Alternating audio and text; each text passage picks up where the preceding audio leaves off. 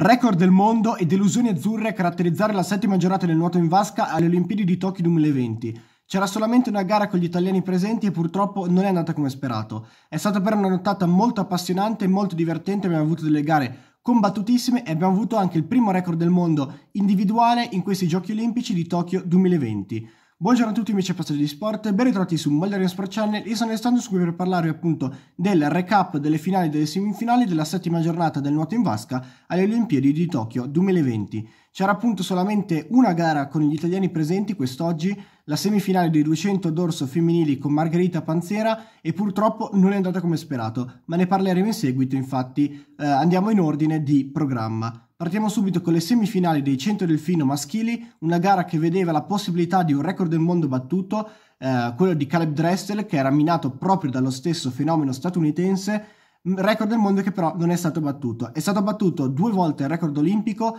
la prima volta nella prima semifinale eh, con Krzysztof Milak, già vincitore, dominatore dei 200 delfino, che stabilisce il nuovo record olimpico e lancia il guanto di sfida a Caleb Dressel Caleb Dressel che raccoglie il guanto e eh, fa un tempo veramente spettacolare, 49-71, non basta per fare il record del mondo, è a circa due decimi dal, dal record del mondo fatto registrare appunto dallo stesso Dressel, ma è il nuovo, olimp- il nuovo record olimpico nettamente rispetto al tempo fatto registrare da Krzysztof Milak, circa 2-3 decimi meglio. Per quanto riguarda invece la prima finale, la prima finale è quella dei 200 rana femminili e anche qui abbiamo avuto una gara di altissimo livello, tant'è che abbiamo avuto appunto il record del mondo. Una partenza, una partenza micidiale di Lily King, ma ai 150 metri arriva al sorpasso della sudafricana Tatiana Schoenmaker, già argento nei eh, 100 rana. Veramente una prova micidiale, soprattutto nell'ultima vasca, una vasca strepitosa della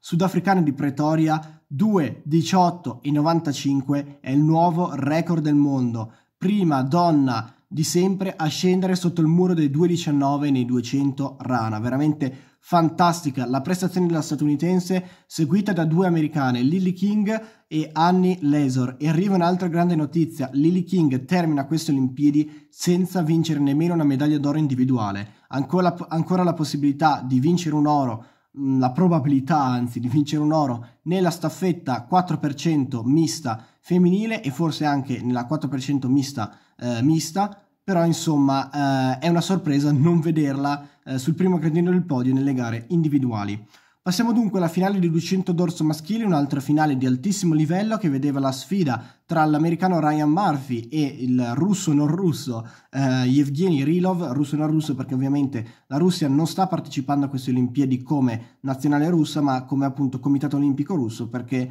a causa appunto delle squalifiche eh, legate al doping, doping di Stato. Una grandissima lotta con Murphy che prova a rientrare nel, ehm, nel finale, un gran, un gran, recupero tra i 150 e i 175 metri, ma nel finale, negli ultimissimi eh, 25 metri, ad avere la meglio è comunque Yevgeny Rilov che riesce a conquistare il, eh, l'oro olimpico con anche il eh, record delle Olimpiadi, eh, seconda posizione per Ryan Murphy, lo statunitense, terza posizione per il britannico Luke Greenbank.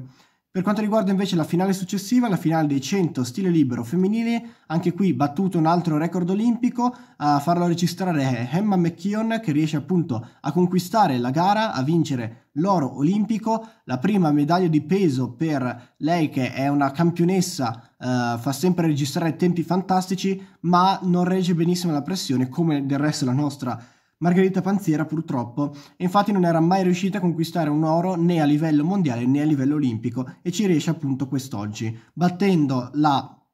eh, portacolori di Hong Kong, già seconda nei 200 stile libero, una grandissima prestazione per lei, Sioban Hogi, e terza posizione invece per Kate Campbell, un'altra eh, appunto eh, australiana, eh, sì, australiana eh, come del resto anche Emma McKeon. Passiamo dunque all'ultima finale della giornata, quella dei 200 misti maschili, con Wang che è in testa dopo le prime due frazioni, Andrew mostruoso come sempre nella rana riesce a rimontare e riportarsi appunto in testa alla gara, ma poi disastro nello stile libero, chiuderà solamente quinto perdendo quattro posizioni disastro per Michael Andrew, mentre la, arriva la rimonta impressionante come ci si poteva ben aspettare di Duncan Scott che è uno specialista appunto dello stile libero, ma non abbastanza per superare Shun Wang, Shun Wang che fa anche lui uno stile libero mostruoso e riesce a conquistare il titolo olimpico. Uh, prima posizione per Shun Wang, seconda posizione per Duncan Scott, terza posizione per Jeremy Deplange, lo svizzero, per quanto riguarda appunto la prova di 200 misti maschili, con Michael Andrews con un crollo finale solamente in quinta posizione.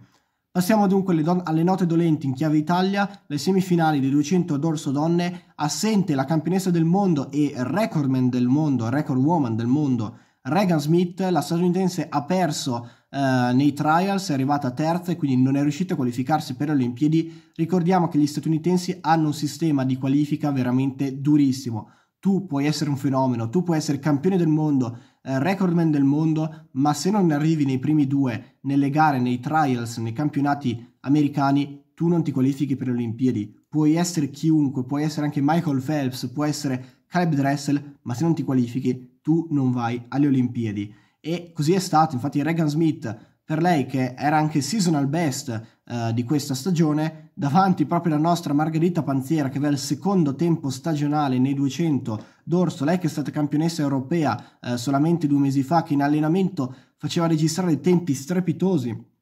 e arriva invece il disastro. Malissimo ieri in batteria, si qualifica con il quindicesimo tempo se non sbaglio, no, con il dodicesimo comunque con un tempo molto alto e quest'oggi ancora disastro completo di Margherita Panziera oltre eh, 4 secondi dal suo personal best, eh, quasi 5 secondi, veramente una sottoprestazione incredibile per lei che è capace di nuotare 2,05, nuotato 2,09 e purtroppo è fuori, è prima delle escluse ma nettamente di oltre un secondo rispetto all'ottava posizione, no di quasi un secondo, non oltre però, insomma di quasi un secondo rispetto all'ottava posizione ed è veramente una, una brutta tegola che ci si poteva aspettare perché Margherita Panziera ha dimostrato diverse volte, tantissime volte, che alle Olimpiadi, ai mondiali, quando la pressione sale, non è capace di nuotare come sa fare. Perché una Margherita Panziera al 100% quest'oggi passava come prima con la pipa in bocca, perché i tempi non sono stati altissimi, eh, non sono stati bassissimi, sono stati tempi piuttosto alti, quindi una Margherita Panziera al top quest'oggi sarebbe passata veramente con la pipa in bocca anche in, in prima posizione e domani l'avremmo visto in corsia 4 e invece purtroppo domani non ci sarà. Eh, dispiace, dispiace, però ce lo si poteva aspettare purtroppo, nonostante sia veramente una bruttissima tegola. Qualificate Sibon, White, Bacon, la cinese Peng ehm, e altre appunto atlete, ma purtroppo non vedremo la nostra italiana, che era una delle maggiori speranze di medaglia nel nuoto in queste Olimpiadi, purtroppo appunto, Margherita Panzera è fuori. Comunque ragazzi direi che per questo video è tutto, vi lasciare commenti, piace iscrivervi, seguirci anche sulla nostra pagina Instagram, mi raccomando iscrivetevi al canale, attivate la campanellina per non perdervi alcun video, alcun aggiornamento riguardo a queste Olimpiadi, seguiremo assieme un po' tutti gli sport, dalla scherma al nuoto, dall'atletica al um, ciclismo, al, al um, basket, al pal alla pallavolo, veramente di tutto e di più, quello che capita, capita e noi lo seguiremo assieme.